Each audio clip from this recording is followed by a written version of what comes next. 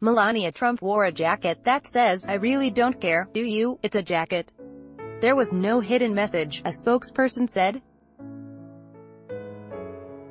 After today's important visit to Texas, I hope the media isn't going to choose to focus on her wardrobe. Washington, AP, First Lady Melania Trump wore a jacket that read, I really don't care, do you, as she boarded a flight Thursday to a facility housing migrant children separated from their parents.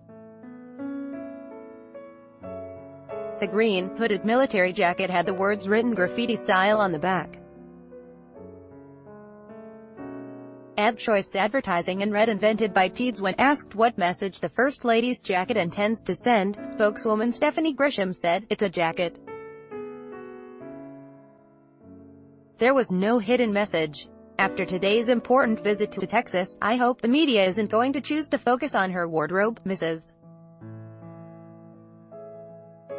Trump changed into a pale yellow jacket before the plane landed in McAllen, Texas, for a visit to the Upbring New Hope Children's Center, which houses 55 migrant children.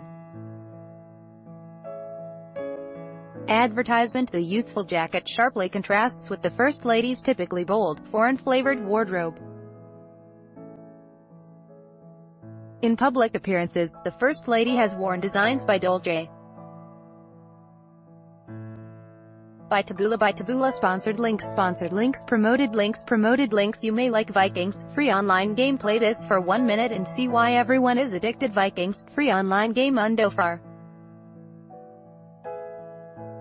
minutes and see why everyone is addicted Throne, free online game Undabab language expert shares the secret to learning a language in 20 minutes at debablando save70.com flights in Singapore at ridiculously low price. Save70.com mundo top expensive.com 20 most expensive cities to live in around the world in 2017 top expensive.com mundo